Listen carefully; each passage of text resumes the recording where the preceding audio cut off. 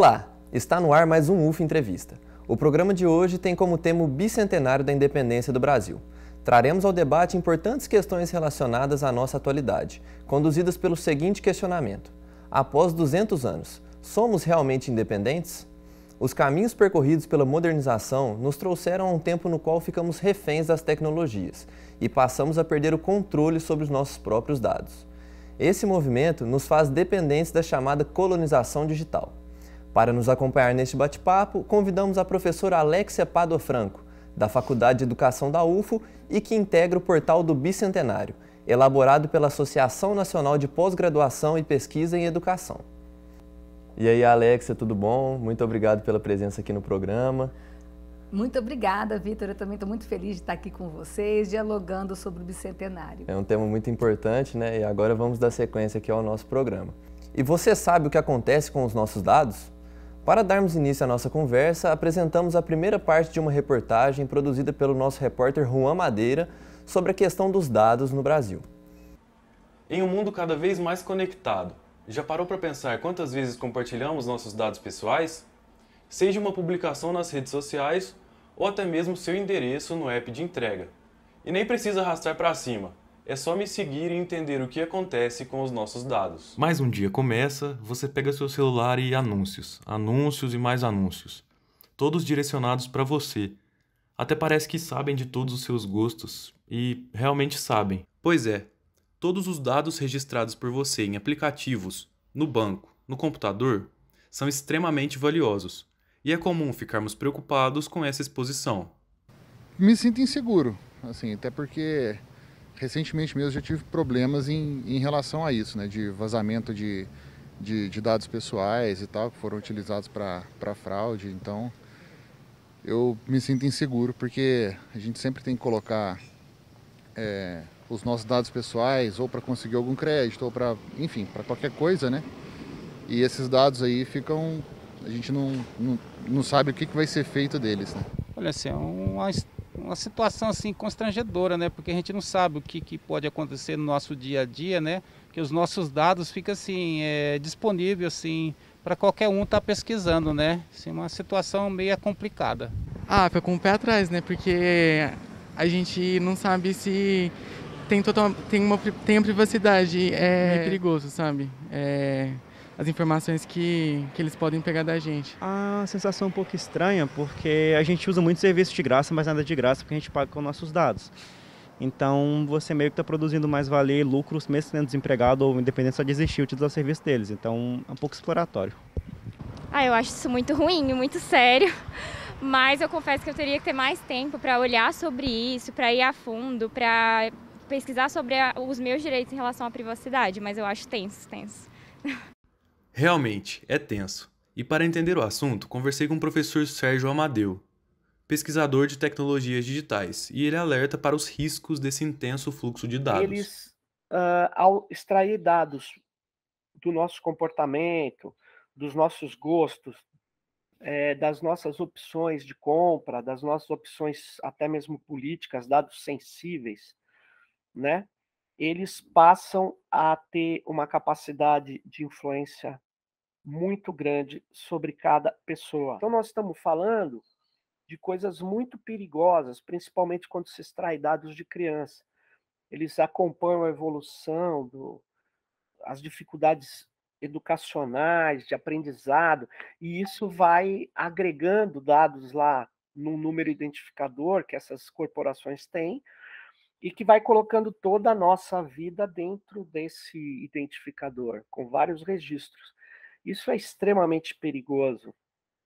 Bom, Alexia, é, uma das características do portal do Bicentenário, que você faz parte da construção, elaboração, é de que mostrar para as pessoas que mesmo após 200 anos de independência, nós ainda travamos lutas para sermos independentes, uhum. certo?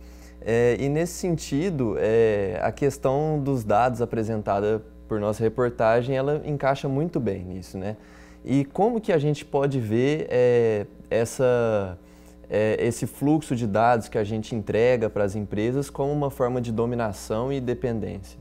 Tá. Então, Vitor, o portal do Bicentenário, ele pensa justamente isso que você disse, né? Como que nós, com 200 anos de independência, que oficialmente se comemora no dia 7 de setembro, que a gente precisa pensar nas nossas não independências e nas nossas lutas por liberdade. E aí são várias. Então eu vou tentar encaixar as duas coisas. Outras independências, muitas delas relacionadas à questão de etnia, raça, gênero, é, condição social é, e a questão dos dados. Então eu vou, vou puxar por esse ponto. É, quando a gente fica tão, é, como o professor Sérgio disse, né? A gente fica aí tão à mercê né, dessas grandes companhias de tecnologia.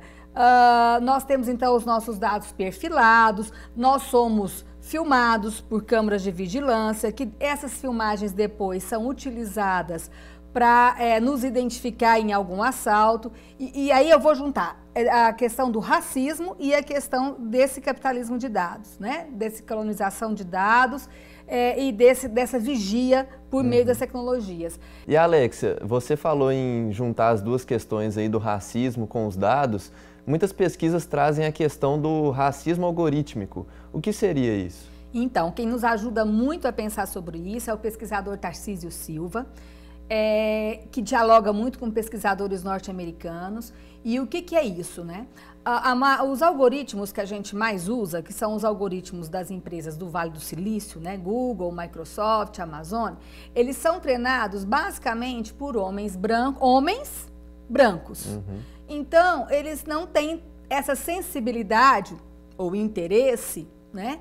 Em ser cuidadosos também com a identificação das pessoas negras. E o que, que acontece? Né? Os, os algoritmos são muito. É, são, erram muito na identificação dessas pessoas negras. Então, quando a gente passa numa, nessas câmeras de segurança, né, e depois você quer identificar as pessoas é, por essa câmera, né, para ver quem foi o ladrão, quem, quem roubou, quem não roubou. Normalmente, em relação às pessoas negras, o, o nível de erro é seríssimo. Então, há muitas pessoas negras indo para a cadeia, indo para a prisão ou sendo julgados por conta de erros né, nos algoritmos. Então, isso é o racismo algoritmo. E outras coisas que já aconteceram esdrúxulas, mas que aí o Google foi consertando porque eram muito esdrúxulas. Fotos de negros, né, que aí o Google reconhecia ali no nosso Google Fotos como gorila. Hum. Né? E Alex, essa questão do, do, racismo ela é uma questão muito estrutural, né? E a gente tá falando aí dos 200 anos de independência, é, que a, a, mostra que nós não estamos totalmente independentes desse, desse racismo que vem desde o Brasil colônia, certo? Então, por isso eu quis juntar as duas coisas, né?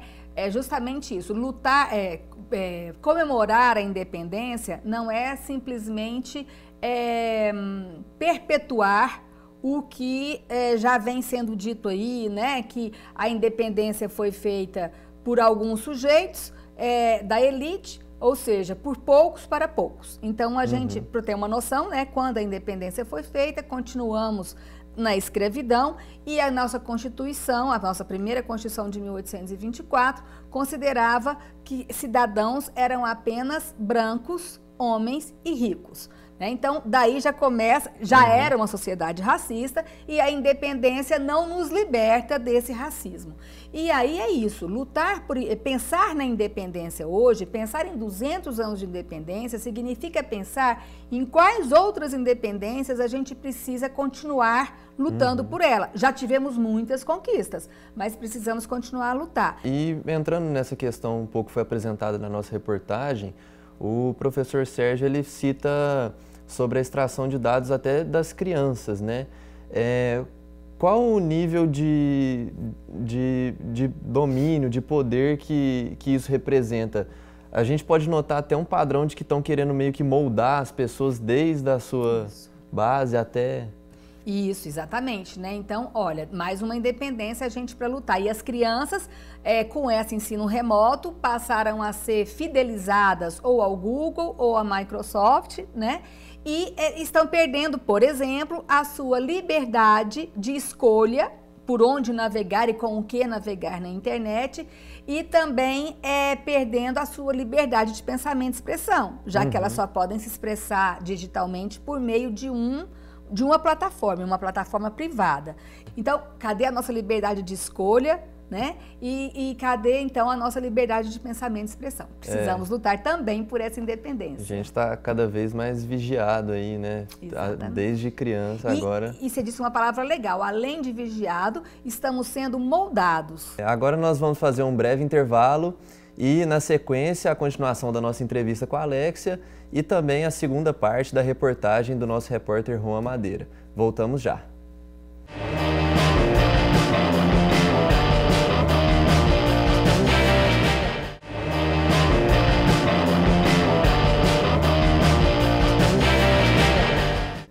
Estamos de volta com o UF Entrevista, dando sequência ao nosso programa que tem como tema o bicentenário da independência do Brasil e a nossa independência de dados. Vamos agora reproduzir a segunda parte da reportagem de Juan Madeira e, na sequência, a continuação da entrevista com a professora Alexia. Se essa situação já te deixou alerta, tem mais, já que não é só no campo pessoal que essa forma de dependência digital acontece. Nas informações escolares e acadêmicas, isso também ocorre. Uma pesquisa do portal Educação Vigiada mostra que das 144 universidades públicas do Brasil, 114 utilizam os servidores de alguma grande empresa tech. Isso significa que apenas 20% das universidades não utilizam servidores do Google, Amazon, Microsoft, Facebook ou Apple. E essas empresas têm como modelo de negócio a extração de dados via inteligência artificial. Os dados das universidades estão hospedados fora do Brasil, estão levando essa riqueza para fora do Brasil, uma vez que tem até um jargão, dado é comparável ao petróleo. Por quê? Porque ele é um ativo de grande valor. Então, o que nós estamos fazendo basicamente é entregando dados das escolas, das populações, dos segmentos sociais, das pessoas, principalmente para grandes é, companhias de tecnologia, empresas gigantescas que têm várias frentes, várias, é, várias outras empresas coligadas em ramos diferentes. Passamos pelo problema da extração de dados no Brasil, a influência de algoritmos nas nossas decisões de compra, e um outro dilema é a disseminação de notícias falsas por meio de robôs, os bots. O projeto de lei 2630 de 2020, conhecido como PL das Fake News, pede maior transparência por parte das empresas de tecnologia, que se manifestam contra o projeto. É, só ver o Google agora no projeto de lei 2630 para regulamentar as plataformas, ele está socando na rede, usando todo o seu poder é, para poder combater a aprovação de uma lei que obrigaria ele a entregar mais dados, ser mais transparente e tal. Então, eles nem querem isso. É pensando em todo esse cenário que os poderes executivo e legislativo estão se adaptando a uma realidade cada vez mais digital. E uma dessas medidas é a LGPD, a Lei Geral de Proteção de Dados, uma tentativa de tornar mais seguros os nossos dados. A reportagem de Juan Madeiro nos ajuda a entender um pouco mais sobre esse assunto. Essa questão dos dados das universidades ela é realmente preocupante, né, Alexa? E assim, a gente queria saber qual que é a dimensão e a importância, a influência que esses dados acadêmicos possuem, lembrando que recentemente a, a UFO mesmo adotou o sistema Microsoft, né? Então assim, qual que é o poder de influência que esses dados acadêmicos têm? Então, olha só, uh, nós somos uma universidade pública, educação pública, e estamos, né, fazendo aí parcerias com empresas privadas de tecnologia. Ao fazermos essas parcerias, nós vamos é, meio que silenciando a necessidade de um investimento público em tecnologia para que tenhamos independência tecnológica. E aí nossos dados estão todos em servidores por elas dominados. Que dados? Não, não são os nossos dados pessoais, digo de novo, são os nossos dados de pesquisa, os temas que nós pesquisando, uhum. o que nos preocupa.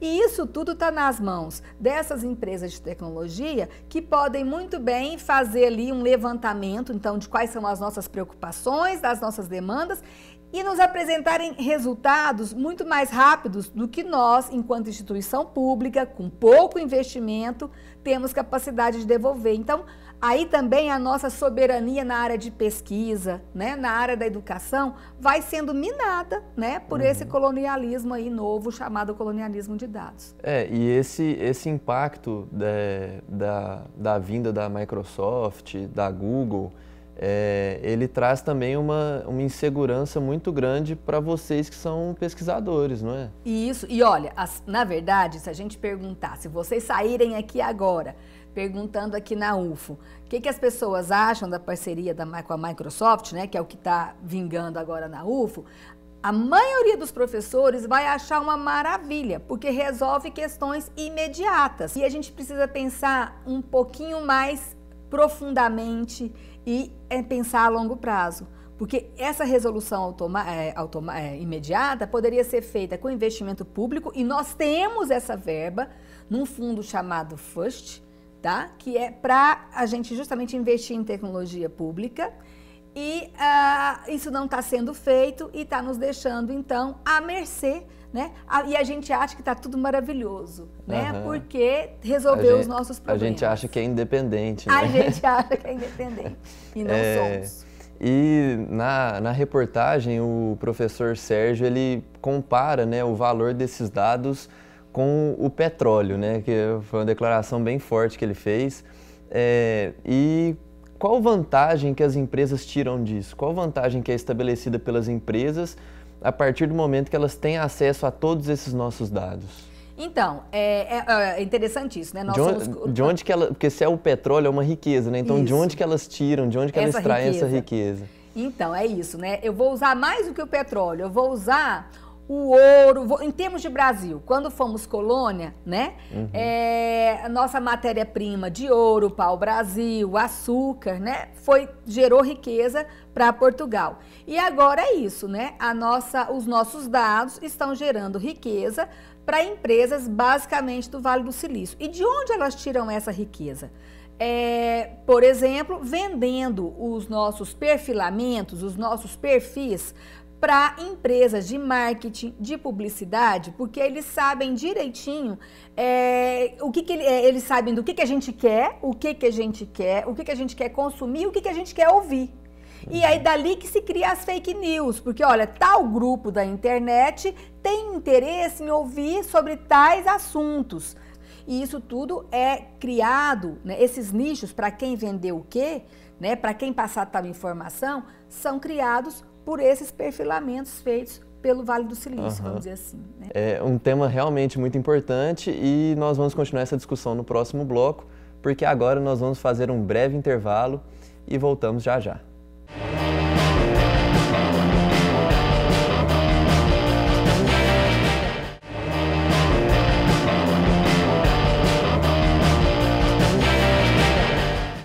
Voltamos para o nosso terceiro e último bloco desta edição do UF Entrevista que vem debatendo assuntos relativos à nossa independência e ao bicentenário que comemoramos nesse ano de 2022. No último bloco estávamos conversando sobre fake news, né, Alexia? E recentemente estava tramitando no Congresso a PL das fake news.